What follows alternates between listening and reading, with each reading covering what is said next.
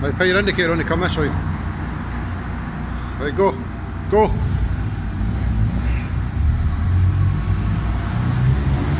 Thank you.